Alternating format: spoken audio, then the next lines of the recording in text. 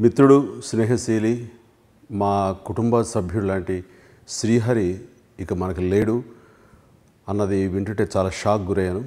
నాకు ఈరోజు సాయంత్రం ఐదు ఐదున్నర మధ్యలో అతను గుండెపోటుతోటి లీలావతి హాస్పిటల్లో మరణించాడని తెలిసిన తర్వాత చాలా దిగ్భ్రాంతి గురయ్యాను. అసలు నమశక్యం కాలేదు. శ్రీహరి ఏంటి? ఎంతో ఆరోగ్యంగా ఉంటాడు. ఎప్పుడెంతో హుషారుగా ఉంటాడు. కంటిన్యూస్గా షూటింగ్లో పాల్గొంటూ ఉన్నాడు. అలాంటి శ్రీహరి హఠాత్మరణం చెందడం అనేది నిజంగా చాలా చాలా షాక్ గురయ్యాం. నిజంగా అది నిండా నలభై తొమ్మిదేళ్ళు యాభై ఏళ్ళు కూడా లేనటువంటి శ్రీహరికి ఇలాంటి మనకి లేడు అంటాం. అనేది నిజంగా జీర్ణించుకోలేనటువంటి విషయం ఇది. మిగతా వాళ్ళందరితోటి ఏమో కానీ నా విషయంలో శ్రీహరి తను ఇంకా నటుడు కాకముందు నటుడుగా తను పైకి రావాలి అన్న టైం నుంచి కూడా నాకు బాగా తెలుసు. నేను ఎప్పుడు హైదరాబాద్కి వచ్చినా సరే నాకు ఒక అనంగుడిలాగా నాతోటే ఉంటుండేవాడు నాతో తిరుగుతుండేవాడు. ఏవైనా సరే మీరు నన్ను సపోర్ట్ చేయాలండి అంటుండే అంటుండేవాడు. అలాగా నాతో పాటు షూటింగ్లో పాల్గొంటుండేవాడు. ఎక్సర్సైజ్ విషయంలో కూడా నాకు ఎంతో చేదుడు వాదుడుగా ఉంటుండేవాడు. ఈ హైదరాబాద్ నాకు కొత్త అవటం మూలంగా అప్పట్లో నాకు వెన్నుదనుగా ఉంటుండేవాడు. అండ్ తర్వాత నాకు తెలిసి శ్రీహరికి ముఠా మేస్త్రిలోను వాటిల్లోనూ తర్వాత బావగారు బాగున్నారా ఆ టైంలో కూడా చాలా మంచి క్యారెక్టర్స్ నా సినిమాల్లో అతన్ని ఇవ్వటం జరిగింది. చాలా అద్భుతమైన నటుడు అతను. అంటే ఈ మధ్యకాలంలో మగధీర ఆ తర్వాత తుఫాన్ ఇలాంటి సినిమాలు ఇంకా తను హీరోగా చేస్తుంటే ఎన్నో అత్యద్భుతమైన సినిమాలు చూస్తుంటే కనుక మనకు ఒక చక్కటి నటుడు అత్యమైన అద్భుతమైనటువంటి నటనా పటిమ గల నటుడు మనకి ఉన్నాడు. ఒక క్యారెక్టర్ యాక్టర్గా ఏ రకమైన వైవిధ్యం చూపించగల నటుడు ఉన్నాడు. అన్నటువంటి ఒక చెప్పండి పరిశ్రమకి ఒక ఆస్తి శ్రీహరి.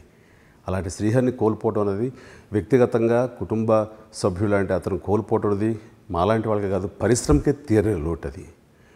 ఈ మధ్యకాలంలో రామ్ చరణ్ తుఫాన్ చేస్తూ హిందీ వెర్షన్లో సంజయ్ దత్ చేస్తున్న క్యారెక్టర్ని ఇంకా వేరే హిందీ యాక్టర్ కానీ లేకపోతే ఇంకెవరైనా అనుకుంటున్న సమయంలో కాదు తెలుగుకు సంబంధించి మాకు ఈ క్యారెక్టర్ ప్రాణ్ అప్పట్లో జంజీర్లో ప్రాణ్ చేసిన క్యారెక్టర్ ఎవరైనా చేయాల్సి వస్తే కనుక అది శ్రీహరి గారు ఒక్కరే చేయగలరు. అంటూ ఆ షేర్ ఖాన్ క్యారెక్టర్ని వాళ్ళకి చూపించి ఆ రకంగా తుఫాన్లో కూడా శ్రీహరి ఉండేలాగా తను చేసుకున్నాడు.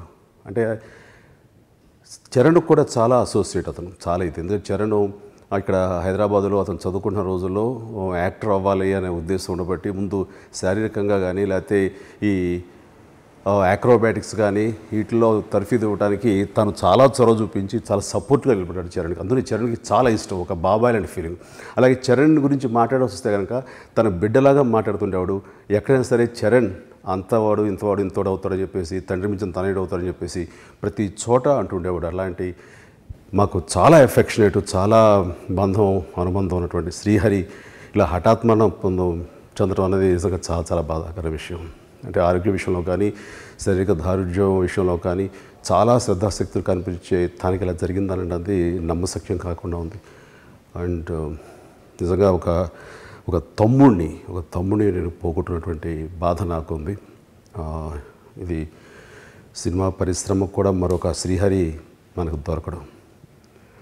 శ్రీహరి అతని మరణానికి నా ప్రగాఢ సానుభూతి నా కుటుంబాన్ని తెలియజేస్తూ మా తమ్ముడు శ్రీహరికి ఆత్మశాంతి చేకూరాలని మనస్ఫూర్తిగా నేను భగవంతుని ప్రార్థిస్తున్నాను. We miss you Srihari we miss you really